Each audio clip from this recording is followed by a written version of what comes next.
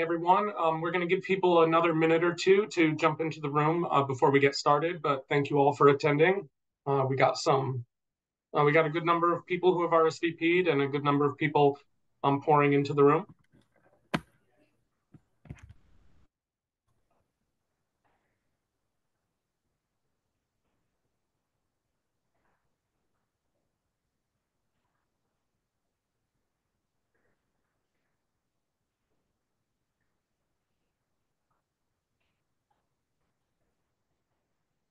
Right, looks like our participant number has sort of leveled off. So um, I'm happy to get started. Once again, good morning, everyone. Uh, it's good to uh, virtually see you.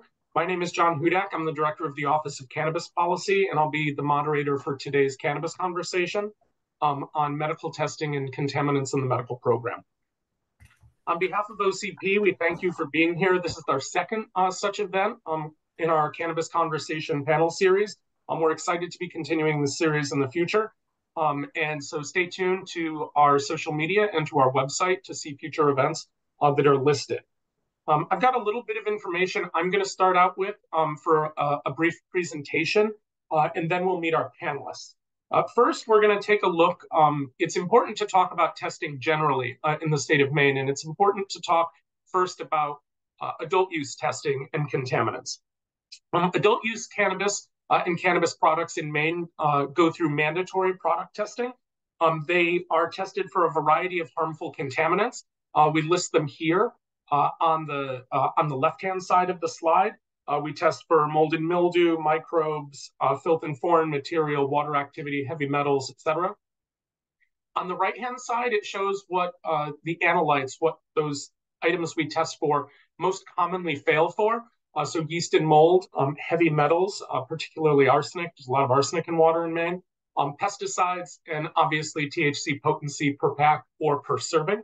Um, those are the common ones uh, that fail. But in the adult use market, um, because we have uh, mandatory testing and we have a track and trace system, we're able to stop those products from getting to, into consumers' hands. We're able to put administrative holds on products um, that stop them uh, in the production or in the sales process. Um, and we're also able to order remediation or order destruction for contaminated products that don't meet uh, the standards. All right. Uh, contrary, though, to the uh, adult use program, the medical program, uh, the medical cannabis program in Maine is not subject uh, to mandatory testing. Uh, we've gotten a lot of complaints at the office from people in industry, from patients, um, from advocacy organizations about this lack of mandatory testing uh, and real concerns about contaminants in uh, the supply chain and the medical cannabis supply chain. And so, um, what uh, I wanted to do was get some data that we could put to this question about what actually is in Maine's medical cannabis. Uh, and so, over the past several weeks, um, OCP uh, began uh, taking samples from stores that were uh, going through inspections, medical cannabis stores that were going through inspections. Um, we sampled uh, we took 127 uh, medical cannabis samples. Um, 57 of those samples failed for at least one analyte. Um, several of them failed for multiple anal analytes um, for an overall fail rate of 45%. Um, I've had conversations with other medical cannabis uh, business owners um, who also test not only their own uh, uh, product, but any product that is going to be put on their shelves. Um, uh, some, some of them have noted uh, their fail rates that they've seen uh, for other companies, quite a bit higher uh, than 45%. Um, but about half of all of the samples that we took uh, are uh, came back in a way that would not uh, pass muster in the adult use program, and frankly wouldn't pass muster um, in a lot of states that have uh, mandatory testing for their medical products. here we list the three categories of analytes that most commonly failed. Yeast and mold was, was a big one. Um, pesticides, including Eagle 20, um, and harmful microbes uh, as well. One of the real challenges, however, in the medical program for us is the way that the Maine medical cannabis statute is structured. Uh, the medical cannabis statute is structured in a way uh, that protect, protects producers um, at the expense of patients. Um, so we have these data uh, from uh, sampling uh, medical cannabis over the past several weeks. Um, the Office of Cannabis Policy is not allowed under statute um, to tell patients uh, what stores have failed, what they have failed for. We can't implement administrative holds or order destruction of products. What we did instead was we asked businesses um, to destroy tainted products. Uh, some businesses were um, willing to do that. Um, others we did not hear back from, uh, but we lack the tools to um, uh, warn the public that there it, that there are contaminants uh, in the uh, supply, except for these top line numbers uh, that we can produce. Um, so I'm going to wrap my part of the presentation there. Um, and uh, I'm excited to introduce uh, two guests um, we have today um, who are experts in their own right um, about medical cannabis. Uh, and we're going to talk a little bit more about where cannabis contaminants come from, uh, what the health impacts are if they're consumed, uh, and why it's important to test for them in a regulated market. I'll start first by introducing Steph Sherer. Um, Steph is the founder and president of Americans for Safe Access. Um, ASA is the largest national member based organization of patients, medical professionals, scientists, and concerned citizens promoting safe and legal access to cannabis for therapeutic use and research. Steph's direct experience with the medical benefits of cannabis and political organizing background led to the formation of ASA in 2002 with the purpose of building a strong grassroots movement to protect patients uh, and their rights. I've known Steph for the better part of a decade now. Um, she's one of the um, best, most vocal, uh, most well informed uh, medical cannabis patient advocate in the world. Uh, and we're really thrilled uh, that you were able to join us, Steph. Uh, Steph has a brief presentation to start us off um, and provide some context, and then we'll meet our second panelist. So I'll turn it over to you, Steph. Thank you, John. Um, and thanks everyone for uh, for joining us today. Um, you know, as John mentioned, you know, I've been working on medical cannabis issues in the United States for over 21 years, um, and we definitely have seen um, a lot of progress. And I think one of the biggest things that we're seeing some growing pains is that we're moving cannabis out of the illicit market into a regulated market. And in the United States, where you know anything that is produced for human consumption uh, is subject to regulations. And so I think you know what what I've seen some polling um, of patients in Maine is that most people think that their products are being tested, um, and I think that that is sort of a natural um, feeling. So you know I want to start by saying I, you know cannabis is an amazing plant. Um, and you know this is not about whether cannabis has medical benefits or not um, but we need to remember it is a plant.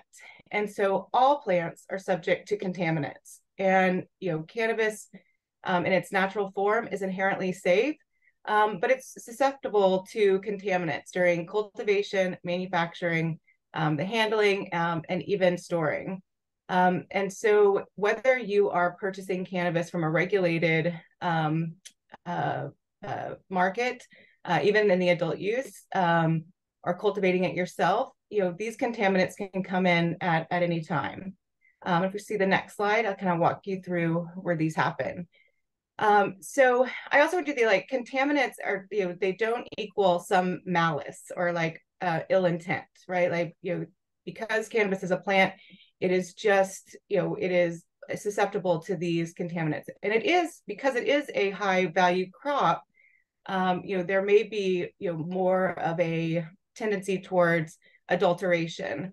Um, but again, when you say contaminants, it doesn't mean that there's someone who is, uh, you have some evil plan to contaminate patients. So, you know, during the cultivation processing, you know, uh, pesticides uh, can, you know, if they're not properly used, can remain on the plants.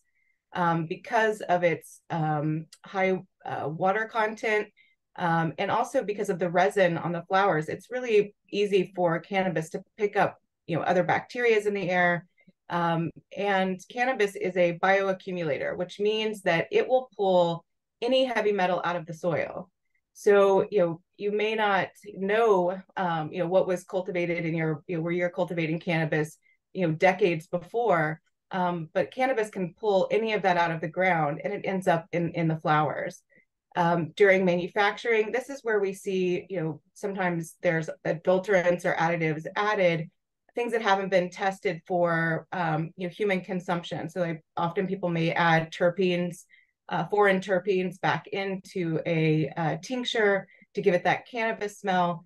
Um, but those products have not been tested for inhalation. Um, and I think you know we saw the vape scare um, you know a few years ago where people were dying because of uh, vitamin E and and you know products that were not meant to be inhaled put into vaporizers. Um, and then also during the process of manufacturing, uh, when they're actually creating, um, you know, creating these tinctures or oils or or uh, concentrates, uh, you know, if they're not careful, if it's not done correctly, um, the solvents can stay in the final product, and these are very dangerous uh, for human consumption. And then storage, that this is this could happen in a store, but this also includes like once you bring it home, right? If you're not careful with where you keep your cannabis, you could be introducing molds, mildews, and fungus um, and other bacteria. Um, and you know, if you have a vape cartridge, um, you have to, you know, those are not meant for to, to be used forever. They actually, if they're you know old, heavy metals can actually seep into those products. Um, so you know, again, contaminants happen all along the supply chain, and everyone has to be involved in in testing and making sure that those are there. In Maine, um, consumers have this great option that they can actually take their products into a lab and get them tested. So if you're cultivating uh, for yourself or someone else, you can bring um, you can bring these into labs and see um, see what's in those products. Next slide. So, you know, um, again, this isn't to scare people, but I want people to understand that when we're talking about these contaminants, these have, you know, real implications, um, you know, to patients' health. Um, and I believe that, you know, a larger presentation is going to be made available to everyone. So I don't want to, I'm not going to go into too much detail, um, but I will say for all of these health impacts of these contaminants, um, these symptoms are more severe in children, the elderly, and individuals with compromised immune systems. So I don't really understand any argument why you wouldn't want to test medicine for a patient. Um, there is no there is no argument. And again, um, you know, there isn't someone with like a little bag of mold and mildew trying to hurt patients. It is just the natural process of dealing with an agricultural product. Um, next slide. Um, so residual solvents, I meant this is ethanol, propane, butane. Um, you know, if these products are inhaled, these have you know, very severe and long lasting um, impacts. And I would also say, you know, one of the other things that really concerns um, us at Americans for Safe Access as patient advocates is that these uh, symptoms, you know, are not immediate. So, um, you know, some of the things like dizziness, rapid heartbeat, um, or a headache, you might feel right away, but you also may not associate it with your cannabis use. Um, next slide. And you know, same thing for like heavy metals. These are things that build up in your system. Um, and, you know, again, you may not, um, you know, you may not feel them immediately. It's not like you have a, you know, a contaminant of heavy metal and you turn purple um, and you know to stop using them. So that's why, you know, we need to, like all other um, products for human consumption in the US, it's important that these products are subject to testing. And then next, next slide. Um, and yeast uh, molds, uh, you know, John pointed out these were in in lots of the samples.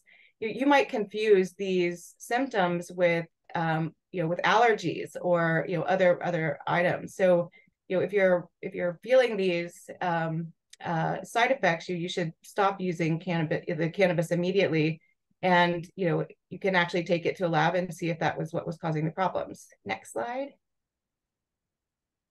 Um, so for you, the one thing that you can definitely do as a patient to be safe, and this is where patients have, you know, the power of the dollar, um, and this is outside of any regulatory system, is that you can actually ask, um, you know, the the retailer, or if you're buying from a, um, an individual um, caregiver, uh, for the certificate of analysis. And there's actually a guide on our website of how to to read that um, but there should be a batch number on the product that matches um, the certificate of analysis.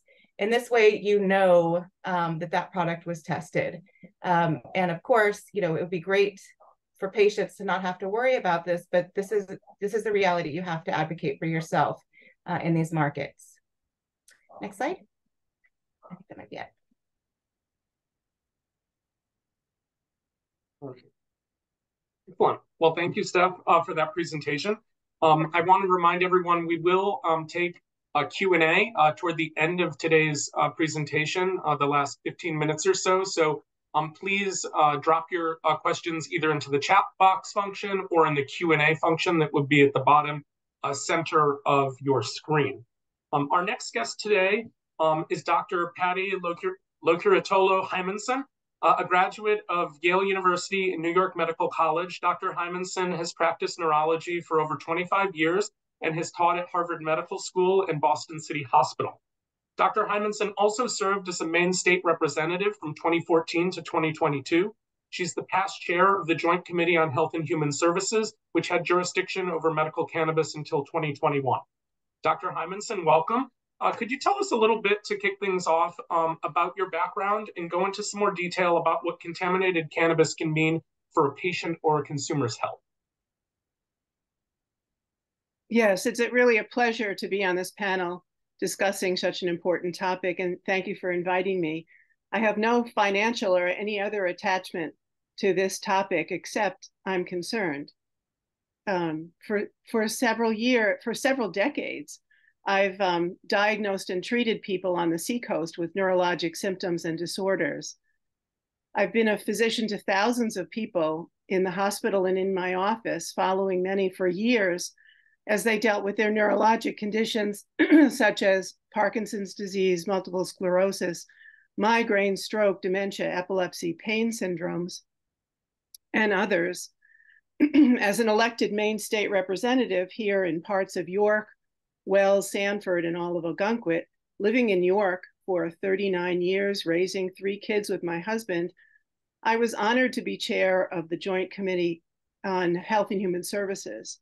So for six of my eight years in the legislature, we heard all the bills, had all the public hearings uh, about medical cannabis. This was the time when I argued successfully for people being able to use cannabis for any symptom management they and their medical provider thought it might help.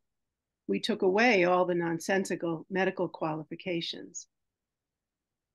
People need to treat medical symptoms. People who need to treat medical symptoms, expect the substances they call medicines to work and to be safe enough.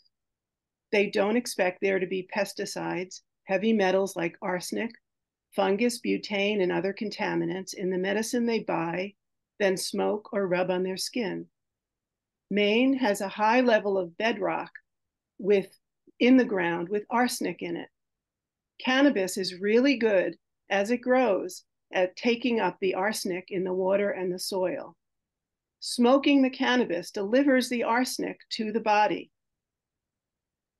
Arsenic causes cancers, blood vessel disease, high blood pressure, diabetes type 2, impaired concentration, learning, memory, reduced intelligence, especially in young people. It's easy to find out about the harm arsenic can do with a web search.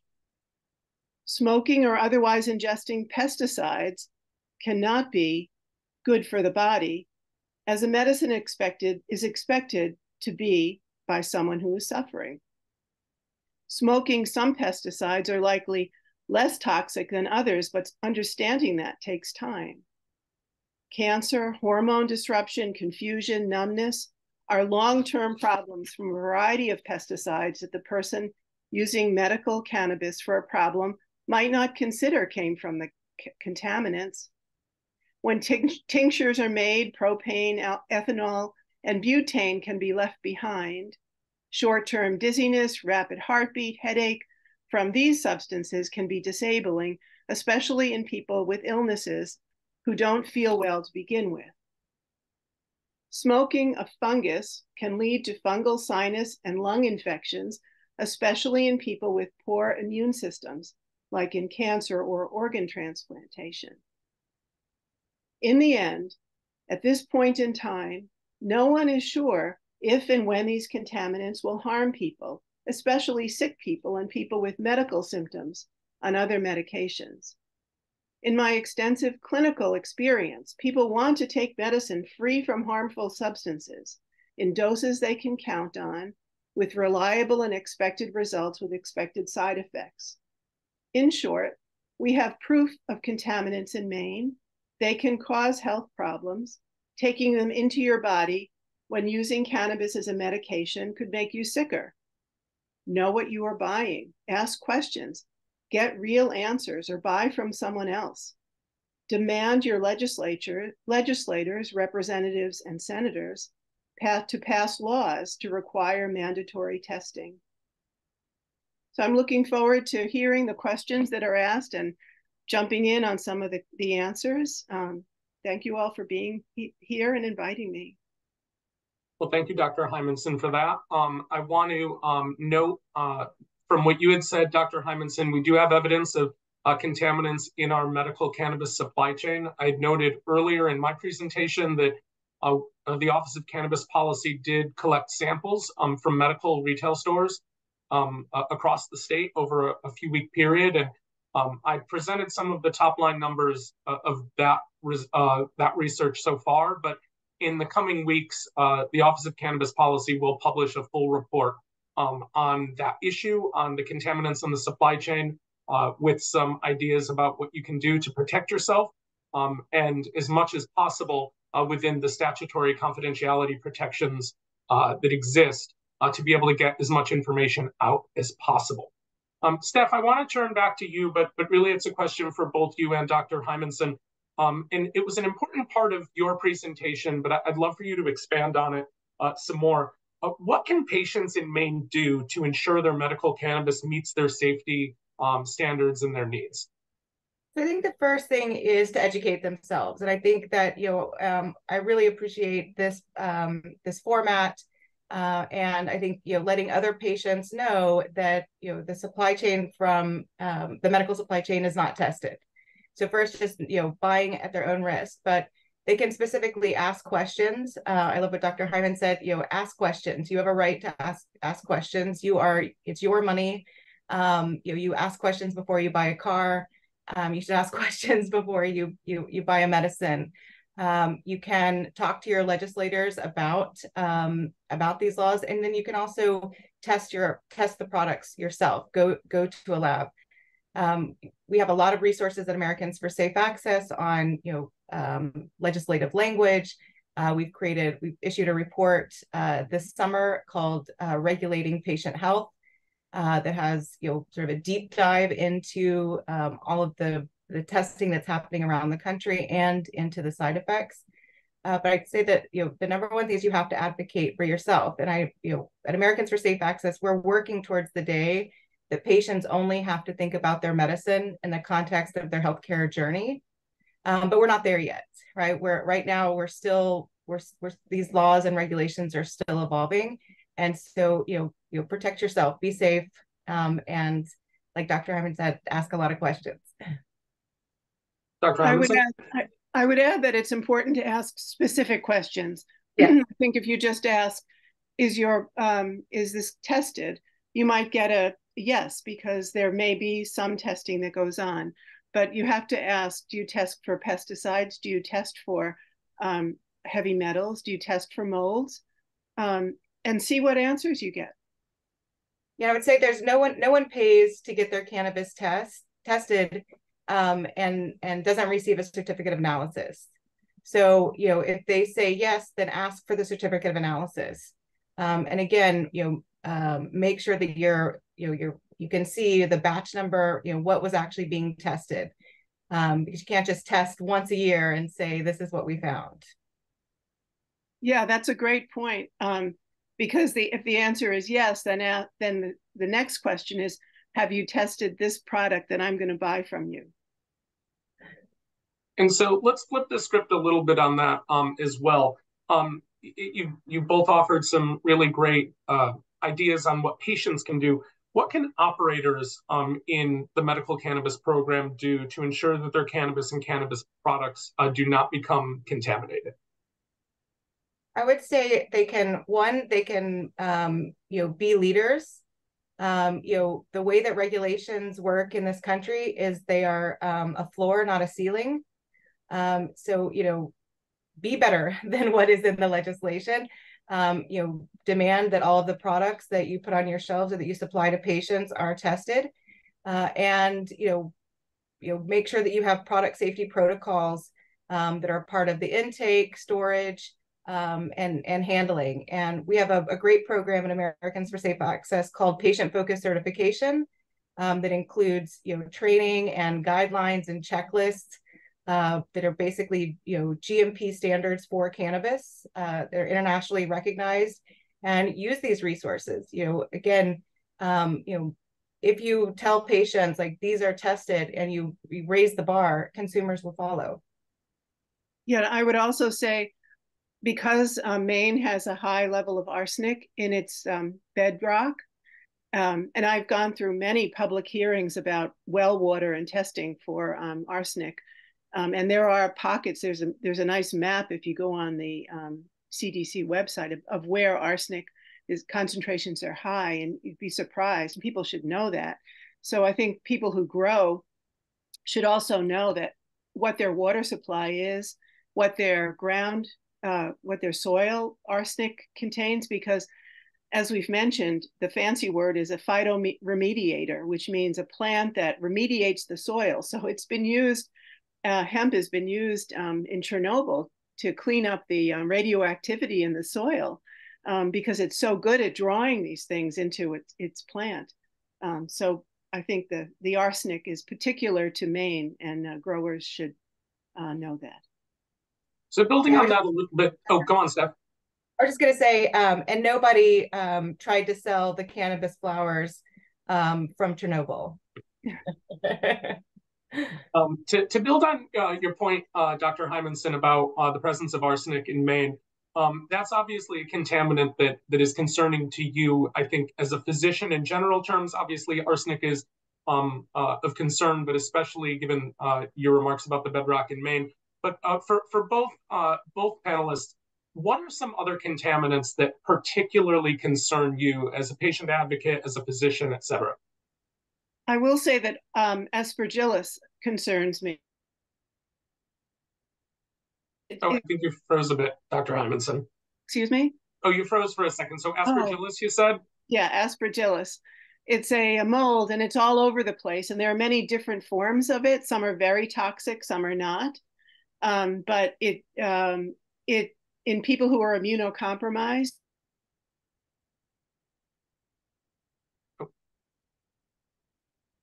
Oh, another another interruption there, Dr. Hymanson. Steph, do you want to jump in?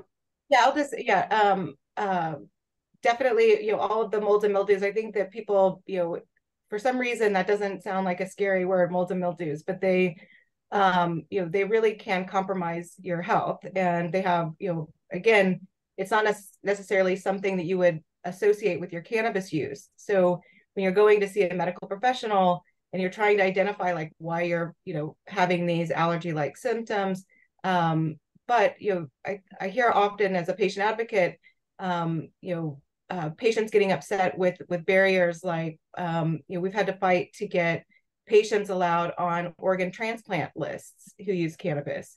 And part of that um, you know the reason that um, that medical cannabis that they test for cannabis is actually because of the contaminants in cannabis it's not actually because of the medicine itself it's actually because of um, you know these uh, contaminants that can actually um, you know interfere with the with the transfer of a new organ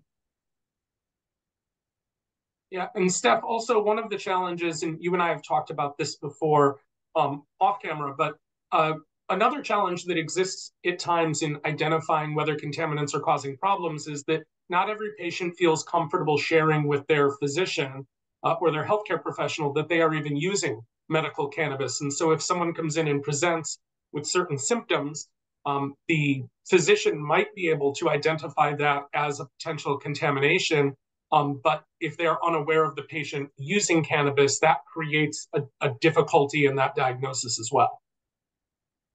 Absolutely, and I think you know those those fears are real, and I think as we are, um, you know, as things are progressing, I think that's you know those fears. Um, you know, we're starting to see the federal government start to recognize um, that there's at least an accepted accepted medical use um, so hopefully patients feel more comfortable talking to their patients um, about, or, or uh, patients feel more comfortable talking to their medical professionals about their use.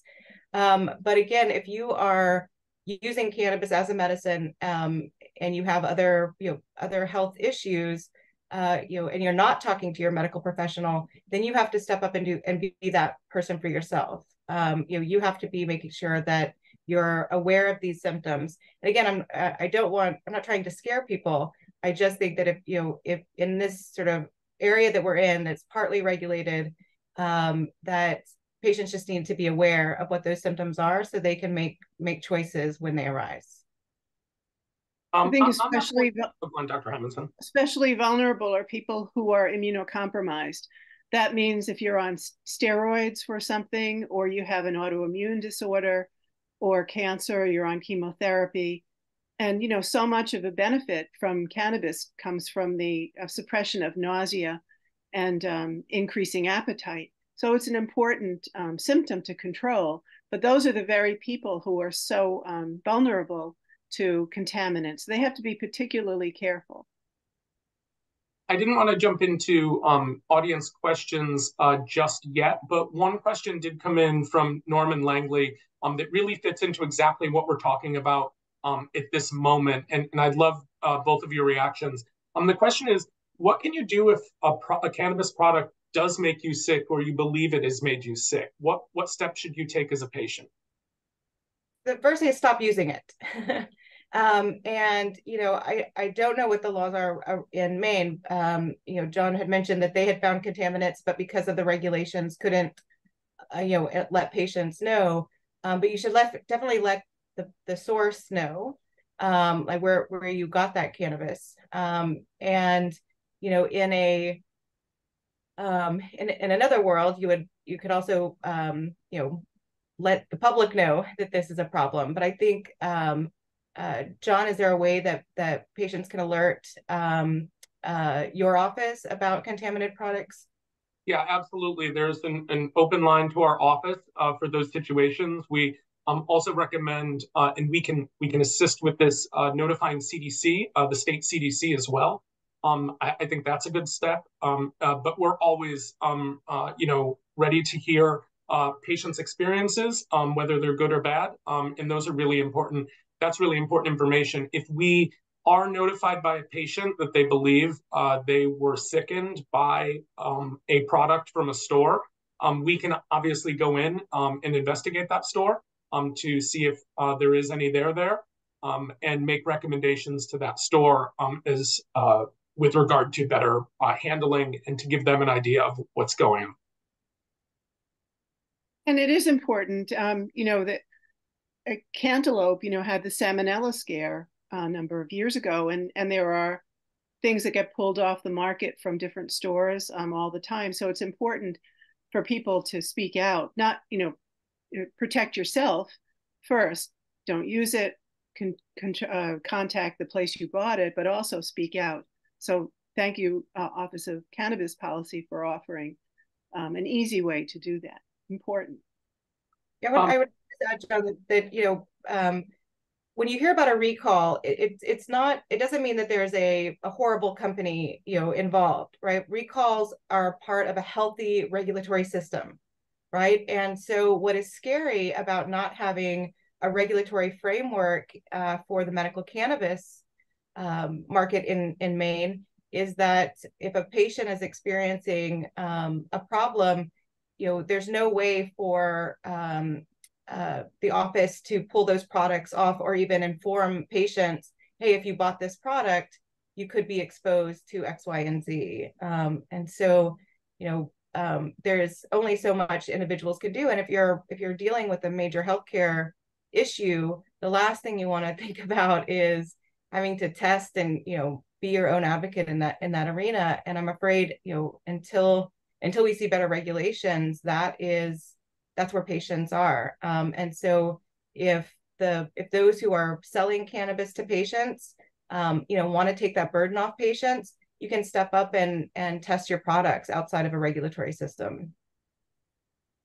Um, my next question, uh, again for both of you, one of the, uh, we'll say, arguments that I hear all the time when I'm advocating for um, testing, mandatory testing here in Maine, um, is something along the lines of, uh, you know, we don't test lettuce, we don't test Cheerios. Why do we test cannabis? And so um, I'm curious uh, both of your reactions. Maybe start with you, Dr. Hymanson. Um, yeah, I, um, you know, you don't smoke lettuce. Um, you know, these are uh, sick people who are um, looking toward to a medication to help them with their symptoms, and they want to go in knowing that this will help them, and not that there's something hidden in there that might harm them that they don't know about. And so um, the lettuce um, you eat, but also has a regulatory structure around it. Um, and that's why we know we know that you know um, uh, melon cantaloupe had salmonella in it. um, you also have an organic, um, you know, there are regulations around the organic um, growing of produce, and so um, uh, there are structures around lettuce. Um, and uh, for people who have who want a med- medicine, um, who are expecting, and, and people say, well, food is medicine. All food is medicine. Lettuce is medicine. Yeah, of course it is. And cannabis as a as a plant is medicine. Absolutely. Um, however, people are taking this because they have a medical problem that they might get into trouble with um, if they're immunosuppressed or or have other um, medicines on board. It's more complicated. So I think people expect if you're going to call it a medicine and that they um, are assured that there's nothing that's going to harm them. I would say that is just a false statement. Lettuce and Cheerios are both tested. Um, uh, you hear about lettuce recalls all the time um, around E. coli. Um, I mean, it's that is just a completely false statement. So anything that is sold in the United States for human consumption is tested. Um, it you know the testing, um, there are batch testing for uh, leafy vegetables. Um, there are on-site um, inspections um, of all agricultural products. So um, that's just a false statement. And so I think that um, uh, where I find myself in this argument is that, you know, if you, you know, if you want to sell products in the United States in a and and uh, receive the benefits of being part of a licit market, um, then regulation is, you know, those are the rules. That that's how that's how you bring your product product to that market. If you are not, in my mind, if you are not um, testing uh, those products, then you are playing by the rules of an illicit market. Um, and so, you know, those have consequences. So I think that, um, you know, it's time to stop sort of hiding behind this, the prohibition um, phase, which was very real. Um, but our organization fought um, to stop the federal raids on, um, you know, facilities and for people who were providing medicines to patients. And I think what we were, you know, the sort of the the contract I think between patient advocates and um, and suppliers was that they would supply safe products to patients. And so um, you now you know don't have to worry about being arrested by the DEA or being prosecuted by the Department of Justice. And so those funds that you were giving to lawyers, um, why don't you put it in testing? That's what I would say. I, will, I will also say that in Maine, we're very proud of our small growers of um, of uh, uh, produce and and um, and so we have a lot of roadside stands and people who um, count on their neighbors who grow these things. I have a farm stand right at the corner of my road, and I love their corn, and I know that that's not tested, but I'm but it's I count uh, we count on our neighbors to um, to make sure that we're not getting sick from it, and if we were, we'd have a ready person to go to. And I think the cannabis market here has grown up like that. Small growers who are proud of their work and have done really good work, um, and um, don't uh, you know want to do the best thing for the people who they they uh, come in contact with. Um, but the best thing for them would be to prove that, um, you know, trust but verify, because um, this is really a medicine that people are counting on for something. And, and um, kind of like a Venn diagram. Remember those? You know, you, you want to make sure safety is in the middle there. So. And I think that's so important. I think that, you know, it's also, you know, if you're a, um, you know, if you are cultivating um, medical cannabis, you know, you also want to you know, be ensured that the whole supply chain is safe. You know, you could be, um, you know, testing your products, but if you're handing it over to a manufacturer or to a um, or to a retail location, that isn't um, you know meeting product safety standards. Uh, you know, as I mentioned before, contamination um, can happen at any at any part of the supply chain. All right, we've got about 15 minutes left. I'm going to transition now toward um, some audience Q&A. Um, as a reminder to uh, individuals in the audience, please use the chat function or the Q&A function uh, to send in questions.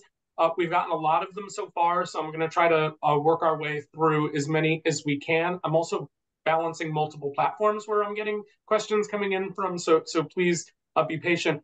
Uh, the first one I want to jump on, and uh, feel free for either of you to answer, but Dr. Hymanson, I think this one is probably a, a bit more directed toward you. Um, it comes in anonymously and it asks, do you think it makes sense for medical providers to have product liability insurance as a requirement for licensing, especially with the high rate of failures in the medical program? Oh, I think we're far away from that conversation right now.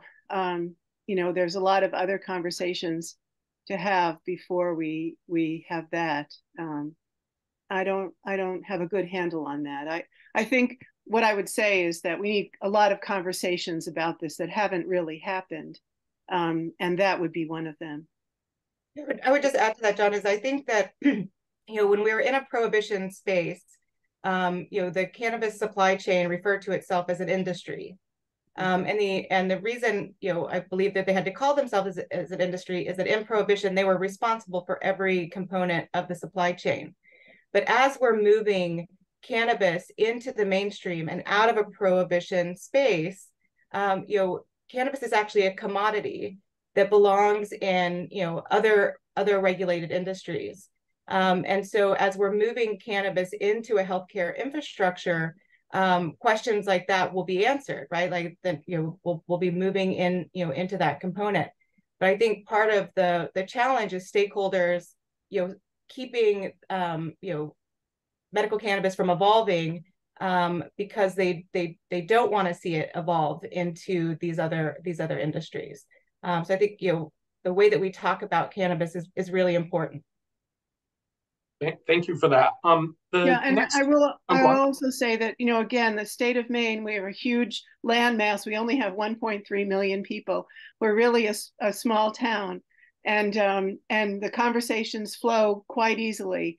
And um, I've I've been impressed through the legislature and my my work at Health and Human Services with a lot of complex issues at how willing people are to come together and have these important and difficult conversations, but stay in the same room. The next two questions I have uh, are from separate individuals, but they are related. And so um, uh, I'd love to hear um, either or both of your reactions. The first question comes from Ryan Parker, who asks, are all yeasts and molds considered dangerous? Are there any that are considered benign? And then the second question from Virginia Olson asks, can you process the mold out of a cannabis product? You want to, do you want to take that, Dr. or do you like me? Yeah, I'll, I'll take the um the um, mold. You know, molds are uh, everywhere. You know, they're you open your refrigerator and there they are in the back of your refrigerator on the piece of whatever that you had three days ago. So you know they're every place. Um, but there are some that are toxic and some that are not. And there are some individuals who can stand um, the toxic ones and the body reacts to it and gets rid of it. And there are others who are immunocompromised from cancer, prednisone, other drugs that they're on who who can't, and it and they grow in the body. So, um, um, so yeah, there are benign ones and there are toxic ones. Um, we mentioned aspir- aspergillosis, which is a tox can be a toxic one and really harmful. Um, so that's the medical answer yeah i would say and, and the regulatory answer is that is that there are you know the, the fda um, and cdc have created um, actually levels that um, are harmful or not right? Be, uh, you know as, as dr hyman mentioned these um, microbes are everywhere. They're floating through the air all the time but there are levels that have been determined that are safe for human consumption. And as far as getting them out of um, um, of products this is this is a little bit of a controversial topic. You know in in europe um, they use um, uh, a form of, of radiation before products go into pharmacies, um, sort of like they do with apples, and we, we use it in produce here in the United States. It's sort of like a, a low level radiation, like the level of an X-ray machine that does kill a lot of those substances. Um, people have argued that it also kills cannabinoids, um, but what we've seen in the European markets is it, it does not. Um, it may have some impact on terpenes. Um, but I think there is this misnomer that if, if you buy, if you have a contaminated crop, that you can just pass that along to the manufacturers and they will pull those out. And I just want to be clear that when you're making an extract, when you're making a concentrate, you are concentrating what is in the product. So you are not getting rid of mold or mildew, you are actually concentrating the contaminants. Um, so, um, you know, a um, in any other regulated market, when there are contaminate contaminants found in the supply chain, those can that product is destroyed. Um, it's not um, handed off to manufacturers, and it's definitely not um, added to um, compassion programs for patients, um, which I'm seeing in a lot of states. That once things fail, people give them away to patients, which is horrible. that is not compassionate. so we have a couple. I'll, I'll also sorry, say, Can I also say that um, when you combust a mold um, you can just you'll destroy it potentially, but not always. And also the the act of handling it may be the way the route that it gets into your body, um, because the mold spores come out when you handle the product, and that may be the thing that you inhale. Whereas maybe when you combust it, it destroys the mold. Um, but that's really unclear. You know, that's another thing. We we really haven't investigated all of this stuff because it's an illegal substance federally. There hasn't been any money put into it. So, um, you know, combusting a pesticide and smoking that, we sort of know a little bit about that, but not a lot. I, I was looking at that evidence and, um, you know, the end of all of the papers about what happens when you combust a, a pesticide and is it is it um, is it poisonous at the end is like we don't really know because we don't have the money or no one's done the research. But in the end it says you know it can't be good for you. So. We've had a few uh, related questions come in and so i want to try to package them together as much as possible. And um, i'll say they they sort of fall under the category of um, some skepticism about the levels of contaminants the acceptable levels of contaminants in products. Um, someone noted that you know, you can find traces of arsenic in coffee that you're brewing. Um, uh, another person asked um, why we pick certain levels um, for the threshold at which something passes or fails, specifically around mold. Um, I'll say in answer to that um, question, uh, the Office of Cannabis Policy um, works really closely with Maine CDC and the uh, experts there uh, to make sure that our testing program in adult use is um, rigorous, but also that it is reflecting the types of risks uh, that can uh, come to harm an individual. Uh, I know, Steph, you've done a lot of work on this, um, safety standards and thresholds, et cetera, for a lot of contaminants and put out guides for other states. Um, can you talk a little bit about how that process goes? I know you've also worked uh, with a lot of doctors and scientists on, on this issue specifically. Yeah, um, I think that um, so within the skepticism, I would just say if you're skeptical about what we're the tools that we have in front of us, um, then I would suggest investing in studies to show that there is a different level that is safe. Right. So the um, what we're using at the regulatory level um, at this at the states um, does go through a political process where we do have um, you know uh, cannabis businesses lobbying for lower um, you know lower levels at times. Um, but you know we're basically pulling what we know from you know these substances in other products. So we're, we're relying on um, fda we're relying on cdc um, but we're also you know um, americans for safe access um, worked with the american herbal pharmacopoeia um, to create a monograph where we pulled from international sources to come up with those, those levels um, you know regulations are are not a are not set in stone. They're constantly evolving. And so i would say if if um, if someone you know and i think the cannabis businesses if they want to see what other um, cannabis you know other businesses have done um, that are facing regulations if you don't like what what is in front of us what we know about product safety um, then there's actually a process that you can you know work with the university and actually do the testing and see if if there is another, um, you know, if there is another threshold. Um, but right now, um, these are the, this is what we know from health agencies is safe. Um, and, you know, arsenic, um, my favorite thing is I, you know, I don't put, you know, a little dash of arsenic on anything. Um, and I think in Maine, it sounds like you guys really have to um, look at this. If yes, there, you know, if you go onto the FDA um, site to look at contaminants, it'll actually gross you out um, to know that the levels of accepted contaminants as far as fecal matter, everything, like there is a level that is allowed. Um, but um, but I think that, you know, again, as Dr. Harmon continues to point out, like we're talking about a medicine as well. Um, and so there is a, you know, a higher level um, that's needed. And we're also regulating a space that's that's unknown. So until until research is specifically done on cannabis and how it is consumed, these are the these are the the numbers that we have. Yeah, and I'll mention, you know, rice is a is a phytoremediator, and there are um, arsenic um, levels in rice. Um, brown rice is worse than white rice. If you um, if you wash white rice, you get some of the arsenic out. But you know, people who use rice a lot are concerned about this. Um, there's all sorts of talk on whatever about uh, arsenic in rice. Um, so there's that. But this is a medicine, and people want to know and so if they know that there's some arsenic in it, they might choose to say, okay, well, you've told me, um, you know, that maybe it's okay. It doesn't just a little low dose or, you know, you're not using it a lot and maybe it's, it's all right. And you can choose as a consumer to say, okay, but I think the person has to know that there's some arsenic in what they're using.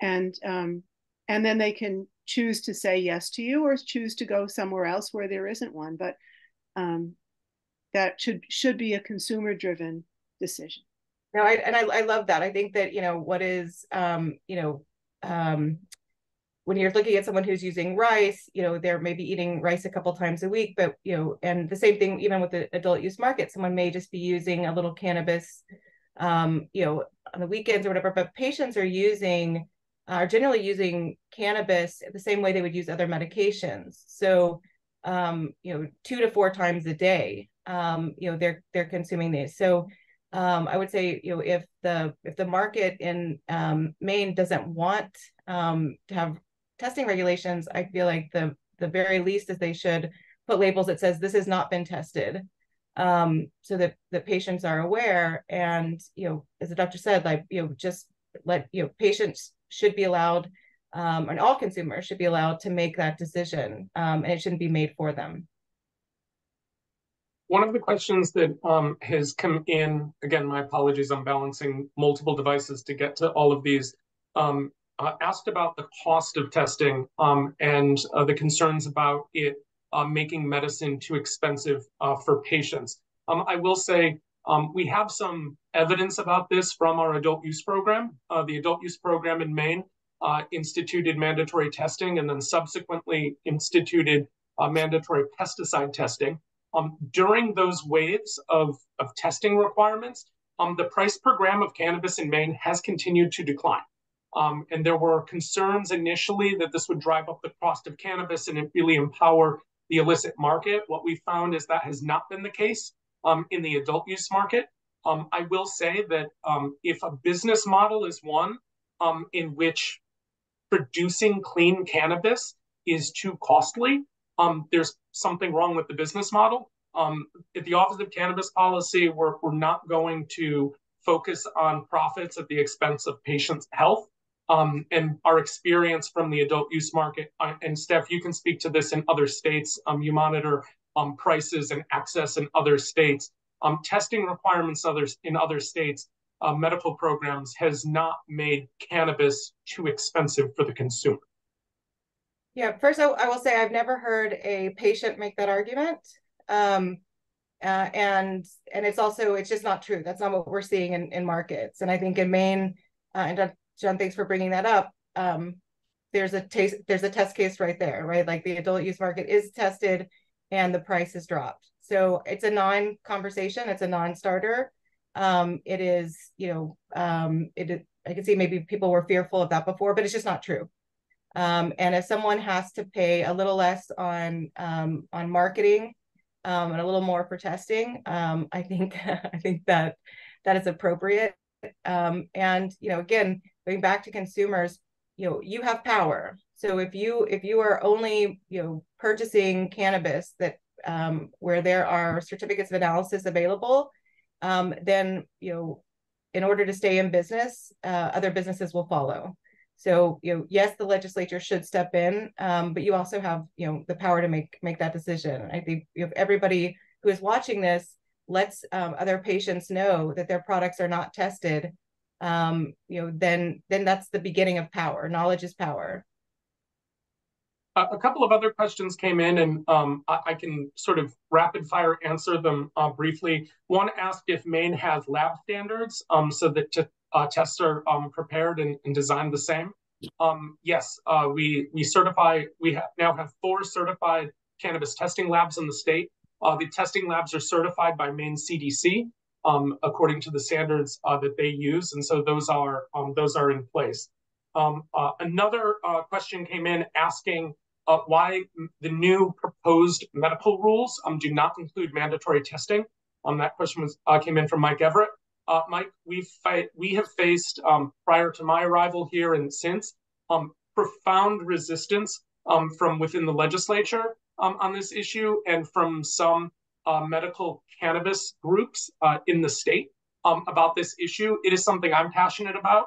Um, uh, when uh, we uh, take steps towards implementing these types of policies, I want to make sure that we're doing it right, that it's fully informed, that as Steph noted earlier, that you have a, a true regulatory apparatus that can do all of the things that it needs to do to protect patients' health uh, and to protect the integrity of the medicine.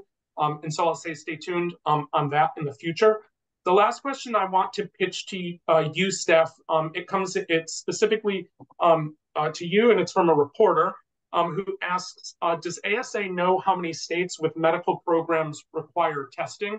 And feel free to plug uh, your website and resources in the process. Yes, I would say um, uh, we just issued a report um, uh, this July called Regulating Patient Health um, that you can download at safeaccessnow.org slash what's in your cannabis.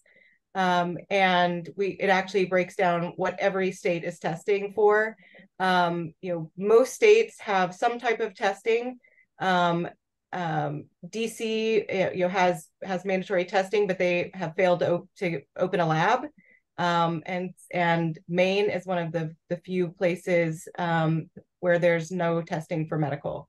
But we also put out a report every year called the State of the States, um, which you can find at safeaccessnow.org slash SOS, um, where we actually grade all of all of the states and and their regulations. But um, uh, but thanks for that question. And I just, you know, as we're as we're ending, I just want patients to know that you know you have power. Um, this, you know, I know the last thing you want to think about when you're sick is is advocating for yourself in one more arena. Um, but you know, um, you inform, you know, stay informed, inform others, and use the power of the dollar um, and use the power of the vote. Excellent. Well, Steph Sherer, Dr. Patty Hymanson, thank you so much for uh, joining us for this conversation today, a really critical one uh, for our state. Um, our staff has been dropping links in uh, to the chat function, um, uh, particularly as Steph has been mentioning uh, some of those uh, some of those resources, including the What's in Your Cannabis report and the ASA State of the State report, um, just got dropped in. Um, stay tuned from Office of Cannabis Policy on our forthcoming report on contaminants uh, in the, the medical cannabis supply chain. Um, the slides that we used uh, for today's presentation, in addition, uh, additional slides rather um, that Steph put together will be made available on our website. Um, uh, and other than that, thank you all for joining me. Uh, thank you to our panelists, and we'll see you at the next cannabis conversation. Hi, everyone. Thanks, John. Thanks, Patty. Thank you so much. Thank you.